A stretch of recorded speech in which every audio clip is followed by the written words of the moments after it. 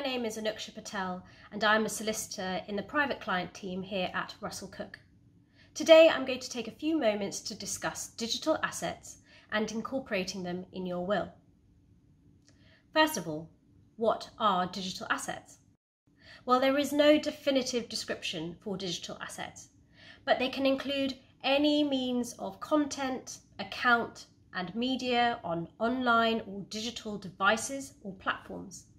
They can vary from online profiles with media content sharing sites such as Facebook, Instagram, or Twitter, to online banking accounts, or even to go so far as your email account, which is provided for by an online webmail service or an ISP provider. So, why do we need to consider these assets?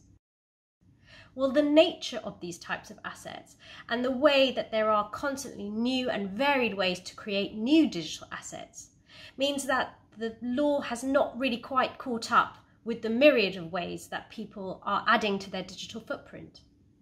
Many standard wills, therefore, do not include a provision for including digital assets, and therefore it is important to make special provision if you do wish for them to be included.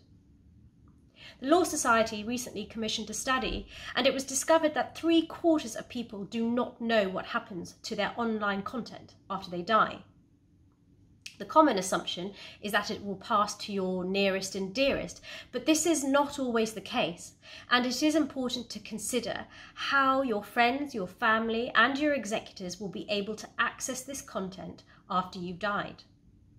Some assets, such as photographs, may not have any monetary value, but may have sentimental value.